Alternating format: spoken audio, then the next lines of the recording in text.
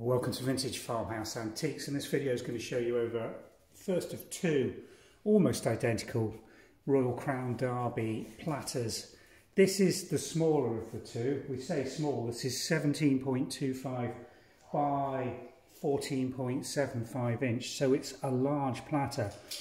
The pattern is uh, a number 2149. Now it doesn't have a name but this was manufactured uh, by Royal Crown Derby at the Osmaston factory sometime between 1877 and 1890 and we know that by the Royal Crown Derby marks on the back. Just let me show you those because these are beautifully jewel marked. Get this the right way up. There we go.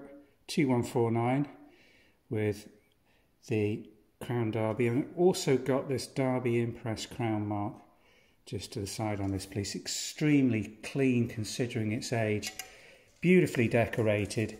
It's a sort of floral flowing branch-like decoration that completely covers the central portion and then this rich cobalt colour with gilt cross hatching across the rims and a rich gilt rim all in absolutely fantastic condition an extremely rare piece of antique Royal Crown Derby and in extremely fine condition. And not only have we got this one available for sale, but we've got its very close near matched larger contemporary piece that we're going to show you in a minute.